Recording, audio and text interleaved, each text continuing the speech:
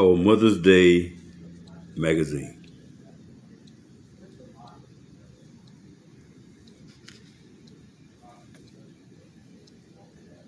We raised